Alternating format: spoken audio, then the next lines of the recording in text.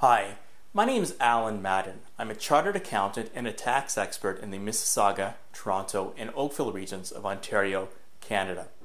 Today's short video is about 2010 personal tax return preparation tips.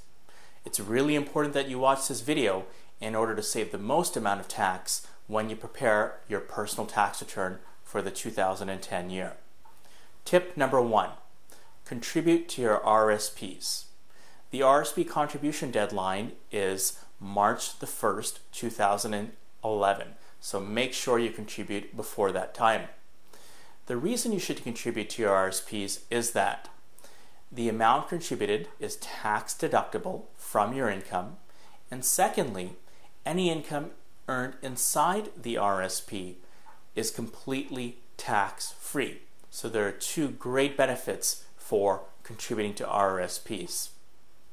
To determine the amount you can contribute for the current 2010 year, simply refer to your 2009 Notice of Assessment and it will be shown on that statement. Tip number two organize your tax receipts so that you can claim all available tax deductions and tax credits on your personal tax return.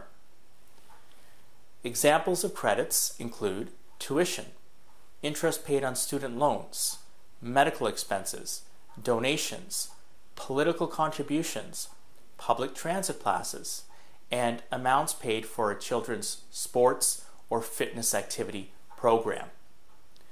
Tip number three make sure you file your personal tax return on time.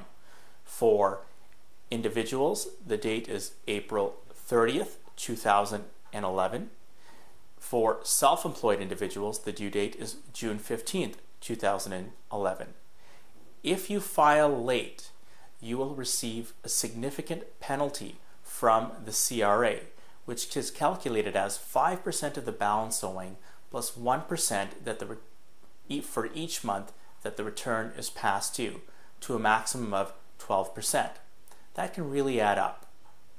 If you don't have all of your information together and you know you just can't file by April 30th, make sure you make an estimated payment. And if you do so, the penalties will either be zero or a small amount for late filing. The estimated payment should be made by or before April 30th, 2011.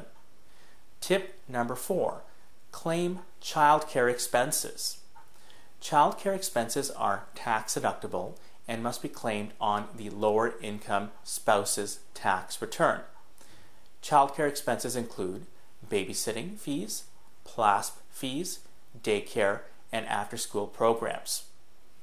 For, ch- for children born in 2004 or later, the maximum deductible amount is $7,000, and for children born between 2000 between 1994 and 2003, the maximum deductible amount for child care expenses is $4,000. These amounts are per child, so the deduction can add up to a lot of money and great potential tax savings.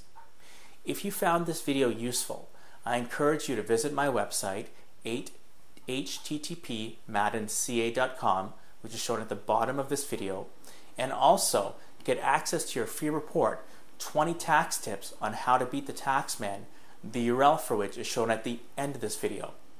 Thanks for watching and look forward to talking to you next time.